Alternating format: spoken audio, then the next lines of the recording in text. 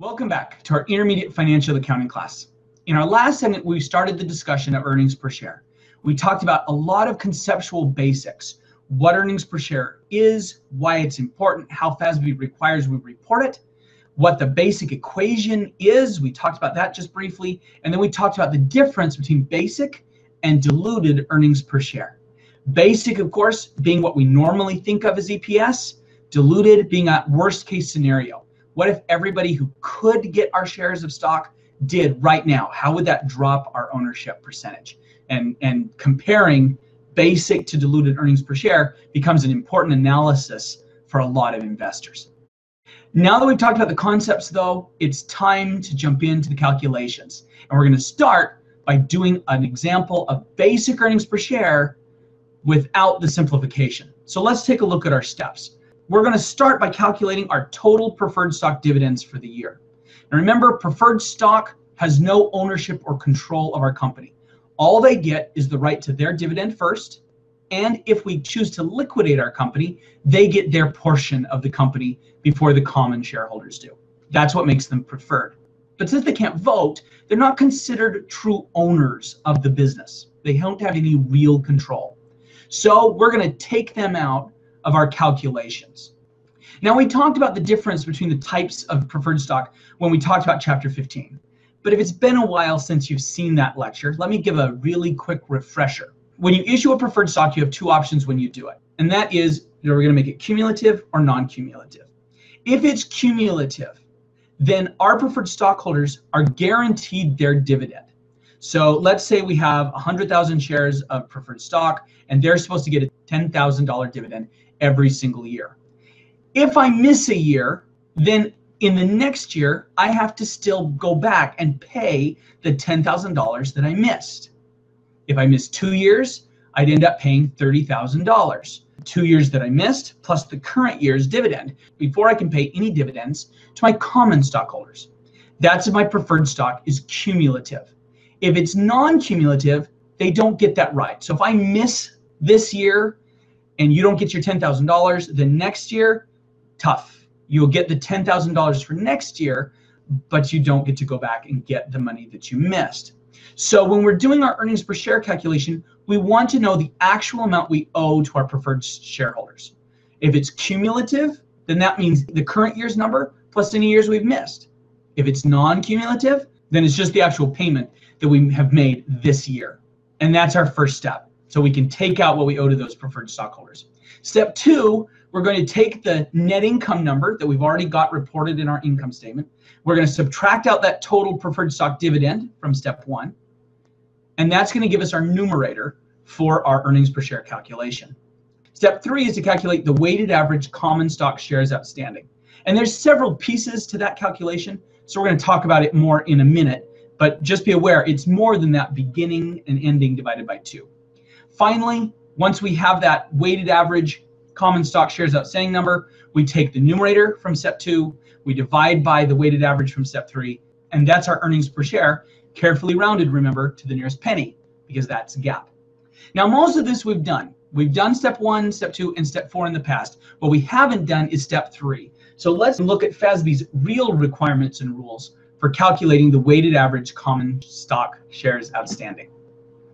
And there are several parts to this. We'll walk through them conceptually, then we'll do an example, and hopefully it will make more sense at that point. Step number one is to go through the year and figure out when the number of shares outstanding changed. Now, just in case you haven't looked at the equity chapter for a while, there are three numbers that go along with our common stock shares, well, and preferred stock shares as well. First is authorized. When we created our company, we filled out a bunch of legal paperwork and as part of that paperwork, we asked for permission to issue a certain number of shares. And the government granted permission for us to issue a million, two million, 10 million, whatever it is, shares. Those are the shares that are authorized. They haven't been given to any owners yet, but we have them and we can sell them as we need to get investors. Number two are the shares that have been issued. These are the shares from that set of authorized shares that we have sold to investors at some point. The last number are the shares that are outstanding. That's the number of issued shares that are still held by our owners.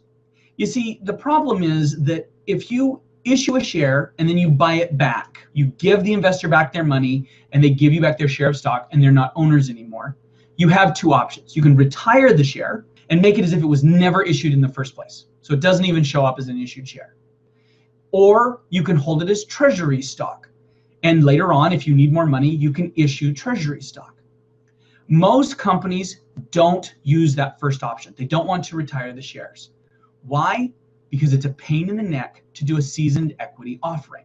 That's where you petition the SEC for permission to issue a bunch of shares that have never been issued before. So I have 10 million shares that are authorized for my company. I have issued a million of them. I would like to issue another million so that I can expand overseas. I have to petition and fill out a bunch of paperwork and have a bunch of things checked so the SEC will give me permission to sell that next million shares. That's hard. If, on the other hand, I have a million shares that I have issued, and then I bought back 10,000 shares, and I've held them as treasury stock, and I decide, you know what, I would like to go ahead and get some more money, I can just issue those treasury shares and sell them again. I don't have to petition for a season equity offering. I just fill out a simple form telling the SEC, hey, I've been owning these treasury shares for about six months. I'm going to sell some of them now. And I just have to inform them. I don't petition. It's not as big a process. It's much easier. Because of that, most companies will hold any shares that were issued at one point as treasury stock instead of retiring them. So what you'll often see are all three numbers on the balance sheet. You'll have the number of shares authorized, 10 million. You'll have the number of shares issued, 1 million. And you'll have the number still outstanding, 990,000. And when you see that as an investor, you say, oh, let's see, they've sold a million, they've got 990 still out there, they must have 10,000 as treasury stock. When we do the earnings per share calculations, this is how we tie this all back in. We're only concerned with shares outstanding, not issued or authorized, just the ones that are outstanding, because those are the ones actually being held by my owners. Okay, that was a really long aside. It's time to jump back into this calculation. So again, we figured out when the number of shares outstanding changed. Then we figured out how many shares were issued on each of those dates when a change occurred. In step three, if we decide later in the year to issue a stock dividend or a stock split, we make an adjustment to our calculations in step two to account for those stock dividends and stock splits. Why? Well, remember that a stock dividend and a stock split are giving additional shares to people who already own our stock. So they have been our owners all year long. We just granted them extra shares as a stock dividend or as a stock split. If I don't adjust for the fact that they have been owners since the beginning, it's going to skew my weighted average number because it's going to look like I got a bunch of new owners towards the end of the year, and I didn't. They've been owners since the beginning. So that's what that step three is doing. You'll see it better when we do the calculation. Step four, we figure out the fraction of the year that passed between each change. So from January when I started the year till June 30th when I issued more stock, that would be six months. Then I go from June to the end of August when I decide that I'm going to buy back some shares as treasury stock. So let's see, end of June to the end of August would be July. August would be two months. So that would be two out of 12. And I figure out that time percentage all the way through my year for all of the dates that we figured out in step one. Once we've got all of the numbers, two, three, and four, then I simply multiply. I take the number of shares outstanding, I adjust for any stock splits and dividends, and then I multiply by the fraction of the year that's passed. That gives me my weighted average. And in step six, I sum up all of those products, and that gives me my weighted average number of shares outstanding. Now this will make a lot more sense when we actually do an example. So let's jump right in to an example of this. This is TLKS Incorporated. They started off the year with 100,000 shares issued. Of those, 5,000 were held by the company as treasury stock. So right there is our first adjustment. I know my issued was 100,000, but since I own 5,000 of them as treasury stock, my shares outstanding must be 95,000. So that's my first adjustment. I need to make sure I'm using outstanding shares all the way through. During the year, they reported the following changes to the number of common shares that were outstanding. So on March 1st, they issued back out or sold back out a thousand shares of the treasury stock. On April 1st, they declared and issued a 20% stock dividend. On June 1st, they issued 20,000 new shares. On September 1st, they repurchased 2,000 shares. So we have more treasury stock coming in. And then on December 1st, we did a two for one stock split. Using that information, what will be our weighted average common stock shares outstanding for year five? Well, the easiest way to do this is with a table. And it's easiest to do this with five columns. So we need the date of the change. That's step one. We'll get the number of shares outstanding on each date. That's step two. We'll make an adjustment for splits and dividends, stock dividends only. That's step three. Step four is to figure out the fraction of the year that it was outstanding. And finally, step five is going to give me my weighted average, and step six will add up that weighted average column. We start always with January 1, 95,000 shares outstanding. We talked about that already. Then on March 1st, we issued a thousand of our treasury shares. So we resold them. So 95,000 plus 1,000 gives me 96,000 that are now outstanding. This is March 1st.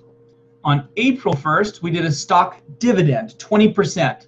So let's see, 96,000 times 1 plus a 20% stock dividend. 96,000 times 1.2 gives me 115, 200, and that's my new shares outstanding. Now I'm going to stop right here and I'm going to jump to step three, even though we're not quite done with step two yet. Remember that I've issued 20% more shares, but not because I got new owners, but because I gave these previous owners extra shares of stock. If I account for this like it was a stock sale, just adding in this 20% and moving on, then it discounts the ownership and control these people have had since the beginning. So to account for that and to adjust for the fact that these people have been with me since day one, what we do is we adjust up here for this stock dividend amount. So there's that 1 plus 20% is that 1.2. I don't have to do that in April because I've already incorporated the 20% and it's already grown. So I'm good there. Next, June 1st, I issued 20,000 more shares, so 135, 200. And then on September 1st, I purchased back 2,000 shares as treasury stock, so 133, 200. And the final change I made on December 1st, I did a two for one stock split. So I take, took those 133,200 shares and I gave everybody an extra share. So 266, 400 is going to be my December 1 number. But again, these people have been with me since the beginning, some of them. Up here, these 95,000, the 135, these people have been with me owning my company since June. I can't just all of a sudden drop their ownership control. So once again, I'm going to adjust for that control since I didn't issue really any new shares. I'm going to adjust all the previous line items for stock splits and stock dividends. With that, we're almost done with step three. I need to do one more thing. Anytime there's more than one adjustment, I'm going to go ahead and do that multiplication first to simplify it later. That gets me done with steps one, two, and three. The next thing I need to do is figure out how long these shares were outstanding between changes. So from January 1 to March 1 is January and February. So these 95,000 shares were outstanding for two out of 12 months. March to April, these 96,000 shares were outstanding for one month of the year. April to June, let's see, April, May, so that's two out of 12. June to September is three out of 12. September to December is also 3 out of 12. And December 1 to December 31 is 1 out of 12. Now, this is really straightforward. I could just do it by months. You'll sometimes have to do it by half months. So January 1 to March 15 would be two and a half months. Some companies, if they're doing a lot of trading of stocks, they have to do it daily or weekly. For our examples, we're going to keep it to simply monthly or maybe half months. That's as far as we're going to go. But be aware that companies can break this down all the way down to days if they need to. We might have to do some rounding, or do we decide is this a half a month, is that a half a month? Please make sure as a check for yourself that you always add this up. So 2 plus 1 plus 2 plus 3 plus 3 plus 1, that does come out to my 12 twelfths, and I'm good. But I want to do that check and make sure. That takes care of step four. Last thing I need to do then is get that weighted average, which is what we're looking for. And to do that, I'm going to multiply these three columns. So 95,000 times the 2.4 times 2 twelfths, 38,000. 96 times the 2.4 times 1 12th is 19,200. 38, 4, 67, 6, 66, 600, and finally 22, 200. Those are my weighted averages. Step five, last step is to add all of these up. 252,000 shares. And that is my real weighted average shares outstanding. Now I know we've gone kind of long, long in this segment, but there is one more thing we need to look at, and it's actually one of our key concepts. So we need to take time to do this, and that is, is this really a big deal? Doing this whole weighted average calculation. I mean, look at all of the work that's involved here. Can't we just take beginning plus ending and divide by two? Well, let's take a look. We'll go ahead and use that simplified method and see how it comes out. So let's see, my beginning was 95,000, ending 266, 400, and we'll divide by 2. And if you do that calculation, you get 180,700 shares. So here's our simplification number. There's our actual weighted average based on true weighting and the times things were issued and FASB's rules. And the answer is yes, it matters. We have to do the real weighted average method if we're going to get an accurate reflection of the ownership of our business.